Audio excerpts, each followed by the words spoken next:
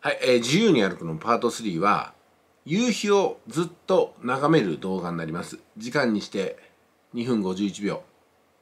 ね。今回は鹿児島の夕日ですけども私の住んでいる広島岡山からも当然夕日は見えます。同じ太陽を見てますけども全く景色が違います。周りの風景と太陽の組み合わせは日本全国同じところありません。吉田さんの住んでいる鹿児島でも沈む太陽は見えますがそこから見る太陽と受け取る感動はまた別のものがあるでしょうね。えそして見ている人の心の中ですよ。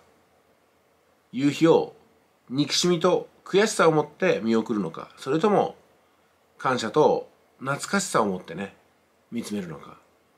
その人がどんな人生を歩み何を感じどう受け取ったかどう解釈したかが見てるもの全てを肯定的にもして否定的にもする。仲間のような景色だったり敵のような見かけだったりさまざま変化させるんではないですかね。あなたにはどういうふうに夕日は映るでしょうか。感謝と感動で見送る夕日なのかそれとも一日を後悔して恨むような日没になるんでしょうか。それは全てあなた次第ということでございます。それでは。